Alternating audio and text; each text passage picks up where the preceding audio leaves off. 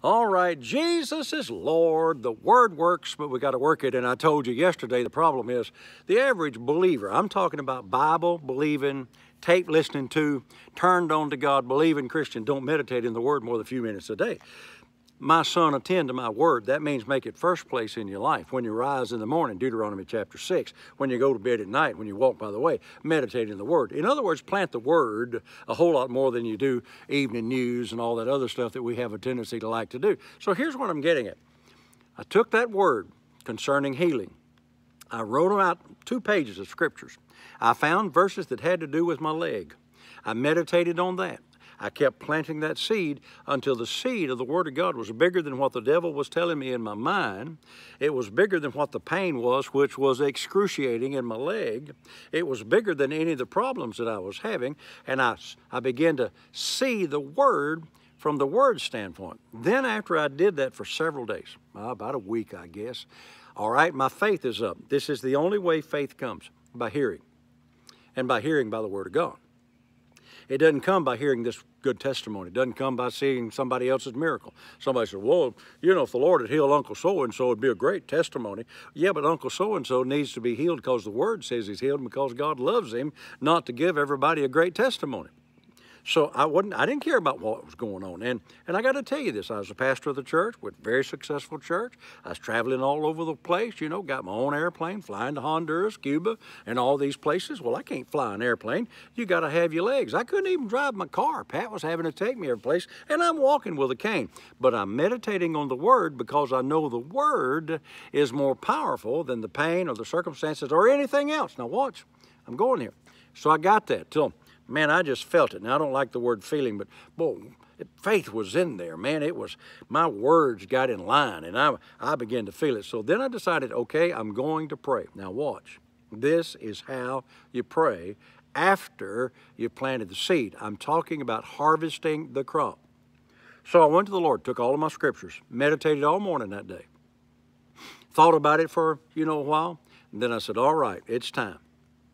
So I sat down and I said, Father, I'm coming to you today in the name of Jesus. You pray in the name of Jesus, based on the promises of your word, not based on my need. Need, uh, had one, yes, not based on the pain, based on the promises of God's word. So, Father, I come to you today expecting healing, based on the fact that I am the redeemed and you love me. Doesn't have anything to do with my past.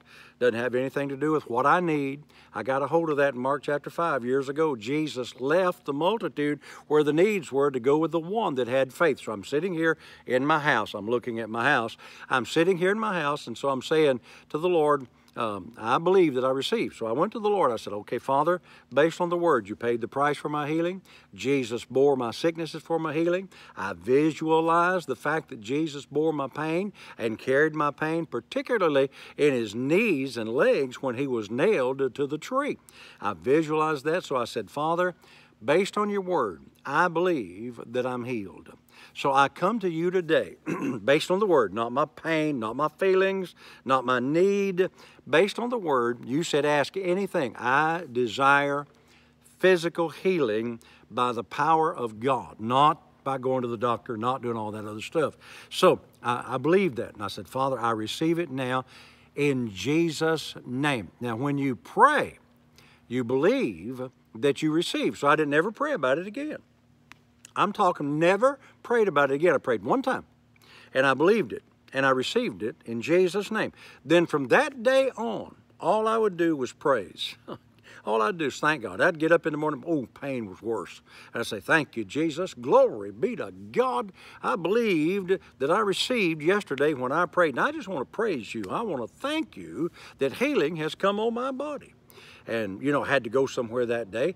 And I thought, man, how am I going? I can't even get out of the house, but praise God.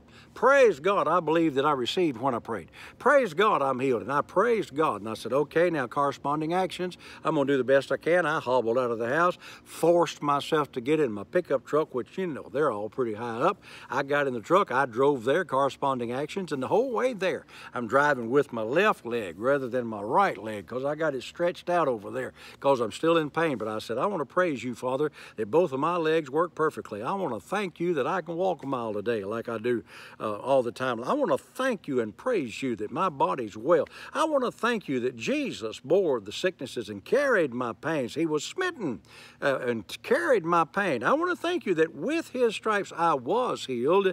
And I want to thank you that I'm not smitten in the needs. And I want to thank you that you've given me back the strength of a young man and I'm walking and I'm not growing faint and I'm running and not being weary. And you are the strength of my back. And I begin to praise, praise, praise. Days, just days of praising and praising and praising. And that's all I'd say.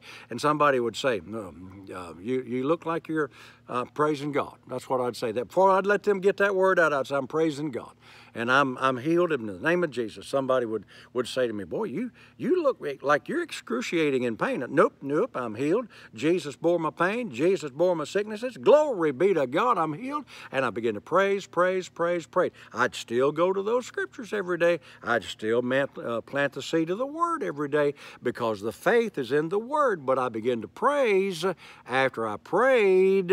And I got to go, got to tell you some more good stuff about this tomorrow, saints. But hey, have a great day. Walk in divine health. Till I'm with you tomorrow, remember, Jesus is Lord. Thank God the Word works.